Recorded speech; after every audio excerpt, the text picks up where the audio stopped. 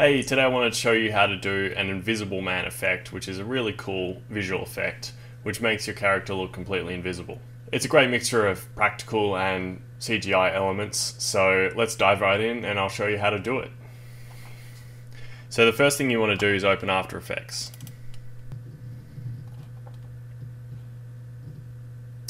We'll create a new project and we'll import the footage. We'll drag the footage into the timeline and we can scrub through the footage. So you can see that uh, we have a shot of a wall and the actor is walking past and is wearing a green morph suit underneath his clothes and is wearing a hat. So he walks past the shot and what we have to do is key out this green and reveal the wall behind him as well as uh, being able to see part of the shirt here as he walks past. So the first thing we want to do is actually get a backplate. So we'll go to the end of the shot and we can see that we have a few seconds of just blank wall and we want to use that in the shot. So we'll go edit split layer and just move it to the start of the shot. And we want it to be freeze frame so just right click go time freeze frame and drag it all the way out just so it's a, a still shot. And we'll put it underneath the footage. We'll rename the bottom layer backplate and this layer footage And we'll just navigate to the part of the shot we want to use. So just before he appears in shot, we'll press B. And we'll go to the end of the shot and press N. So now we can right click the work area and go trim comp to work area. So now we just have that a few seconds as the actor walks past. So now what we want to do is key out this green. So we'll select footage and go effect keying Keylight. And in the Keylight effect pane, we can press this eyedropper and we'll just select the green area here. So we see that we can see a little bit of the backplate showing through. And we can adjust the screen gain. And in the screen matte, we can adjust the clip black and clip white just to make the effect a little bit more convincing. We see that we're actually losing part of the hat here and we're going to have to fill in uh, the back of the hat that we can't see so we can do that a bit later. So as we scrub through we see we we have a basic effect but it, we just need to clean it up a little bit. So what we're going to do is we're going to track the actor as he walks through the shot and we use that to rotoscope this area here that needs to be cleaned up. So we'll double click footage, we'll go window tracker and in the tracker pane select track motion and we see that a track point has been has been created. So what we want to do is just track the green area of his face.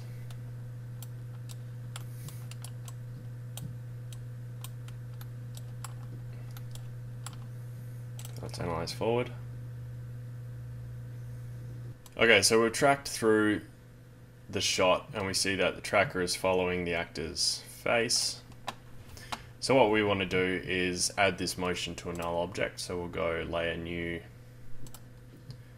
null object and select the footage, go edit target and apply the motion to the null. Select apply and OK. So now we see that the null follows uh, the actor as he moves across the shot. And now what we want to do is create a mask layer where we can clean up uh, some of this area here and make the effect more realistic. So we'll go layer new solid. We'll make it blue. Make comp size and OK. Now just hide the layer for a second. And what we want to do is go to the mask, go to the pen tool, and just draw a mask, just roughly around this area here, around the collar, like that.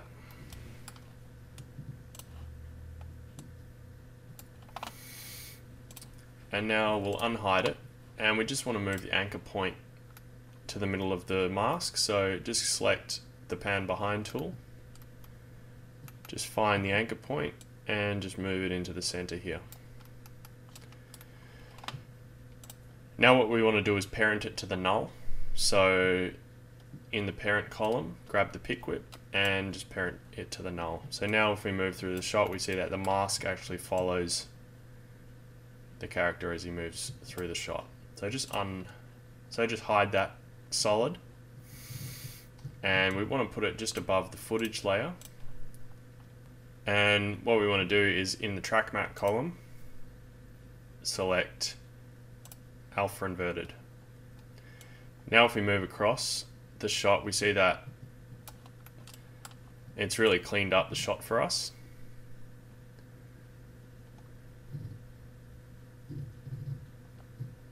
And we just need to refine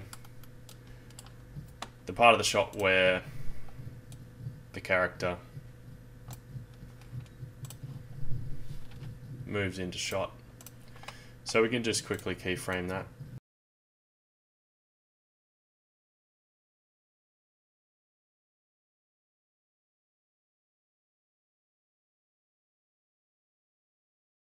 You just go frame by frame just make sure that the mask is lining up with our character.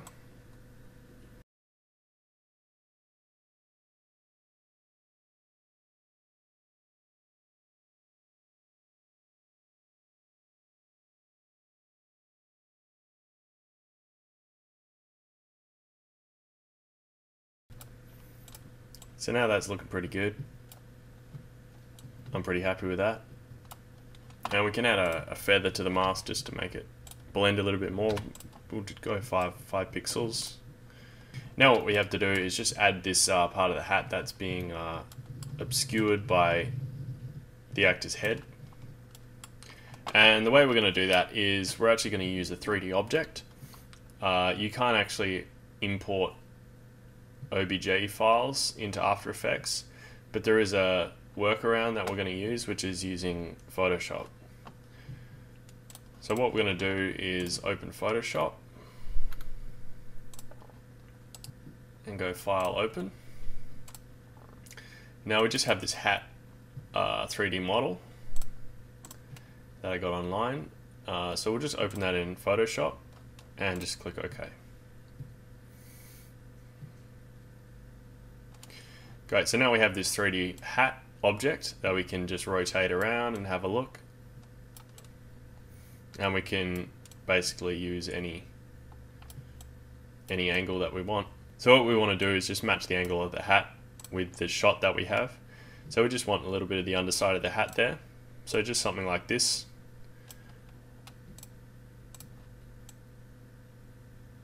Would work.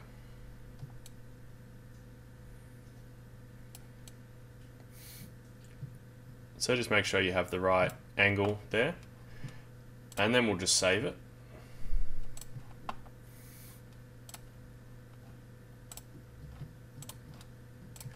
Now we can go back to After Effects and go File, Import File, and just select the Photoshop file and click OK. Now we can drag it into the comp and we see now we have this hat image that we can resize. And what we want to do is just move it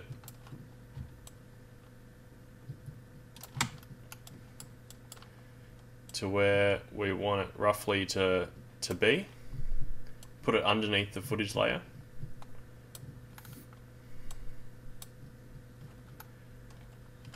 Where we can just move it so it matches up roughly with uh, the hat object there. And what we want to do now is parent it to the null object, which has the motion of the hat. So in the, with the pick whip, just select the null object. And now if we scrub through, we see that the underside of the hat is actually matching up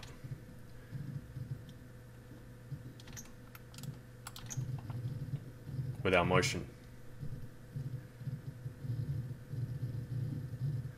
We see that it needs a little bit of refining, but the basic effect is there. We'll just need a keyframe to start. And some of the rotation here. But this is something that we can just keyframe.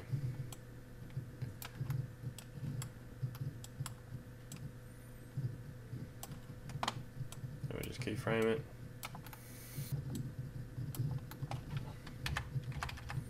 Just scrub through frame by frame just to check that it's looking okay. So we just want to make sure that the color of the uh, underside of the hat matches the color of the hat in the shot. So we can just do that with an effect, color correction curves, and just make it a little bit lighter.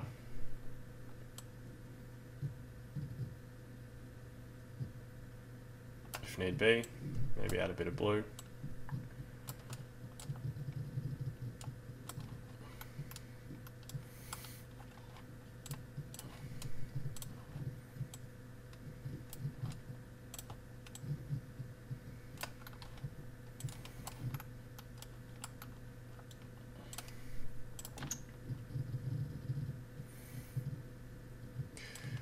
So now what we want to do is just add a little bit of the, the shirt that's being obscured here at the start of the shot. So we're going to do the same thing uh, with Photoshop. So just go back to Photoshop, go File, Open. And here in the shirt folder we have an OBJ that we're going to open. Just click OK. And now you see that we've got a shirt here. Now we can move around and we see that's blue. So we want to just change it to white. So just click the paint bucket selecting white and just select it. So now it's white. Now we just need to rotate it uh, so it matches the shot. So we just need to rotate it at a three quarter angle. So something like that would suit us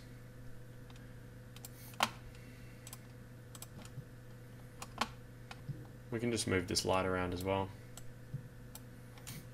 And then we can go File, Save As, Shirt.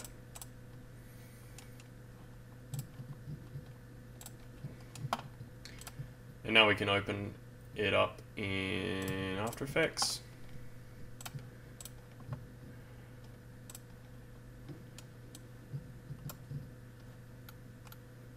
There's our shirt and we can move it.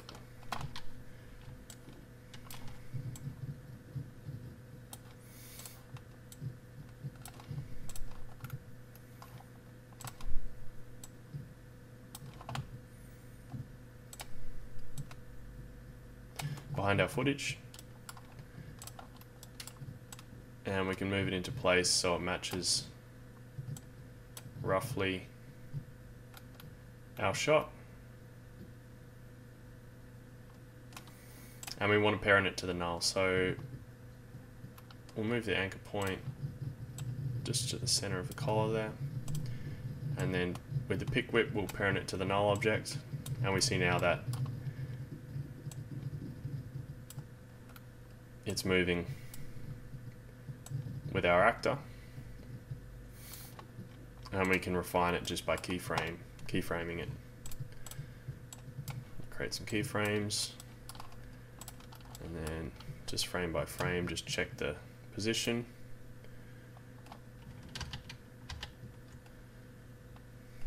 and then lastly with this uh, with the shirt layer and the hat layer we can just add a bit of motion blur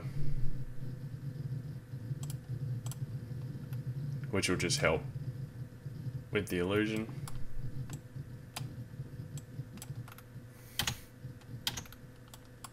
And there you have it. That's how you do an invisible man effect. I hope you found this tutorial useful. There's so many different uses for this kind of effect. So have a play around and I hope you found this tutorial useful.